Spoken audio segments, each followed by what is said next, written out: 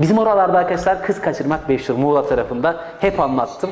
Biz ailede 3 erkeğiz. Arkadaşlar 3'ten 3 erkekten ikisi kız kaçırmış. Biri babam anamı kaçırmış. Hala evliler. 3 çocuklar mutlu. Biri kardeşim eşini kaçırdı. O da mutlu. 2 çocuğu var.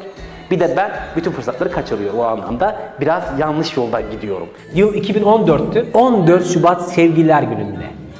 Sobam çıtır çıtır yanarken, bak bu anı hiç unutmuyorum gerçekten. Millet sevgilisiyle dışarı gezip güller alırken, ben de o tahta masada yapayalnız bu hikayeyi yazdım. Sevip de depilenlere gelsin bu şifre